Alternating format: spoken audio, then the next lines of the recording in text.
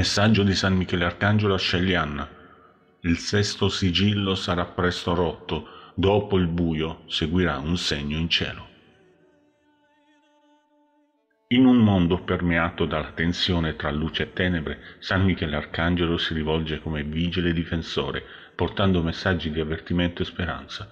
Il suo richiamo alla preparazione e alla preghiera risuona come un eco attraverso il velo del tempo, indicando un momento imminente in cui il sesto sigillo si romperà e le tenebre si riverseranno sulla terra.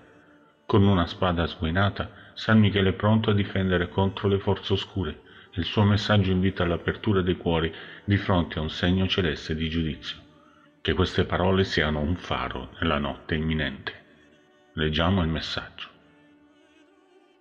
Preparate i vostri cuori, perché il sesto sigillo sarà presto rotto e le tenebre copriranno le vostre terre.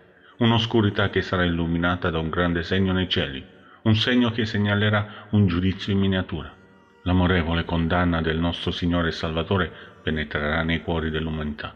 La gravità di questa condanna dipende dallo stato di ogni anima. Il paradiso, il purgatorio e l'inferno saranno immaginati di conseguenza.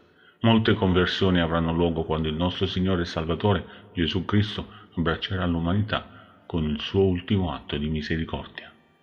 Amati abitanti del cuore di Gesù Cristo, continuate a pregare il rosario di luce di nostra Madre per la conversione di queste anime in pericolo.